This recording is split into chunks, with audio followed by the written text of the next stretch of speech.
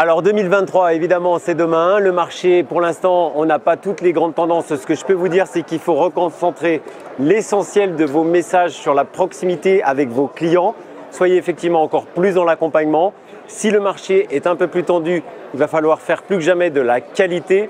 Donc privilégier le nombre de clients par rapport à la quantité, aussi bien au niveau de vos acquéreurs que de vos vendeurs. Évidemment, le mandat exclusif prendra toute son ampleur dans un marché qui risque d'être un peu plus tendu. Et puis au niveau des acquéreurs, faites une qualification encore plus approfondie, amenez un maximum d'informations. Votre rôle, c'est aussi d'accompagner, mais de rassurer les acquéreurs au moment justement de s'engager sur l'achat.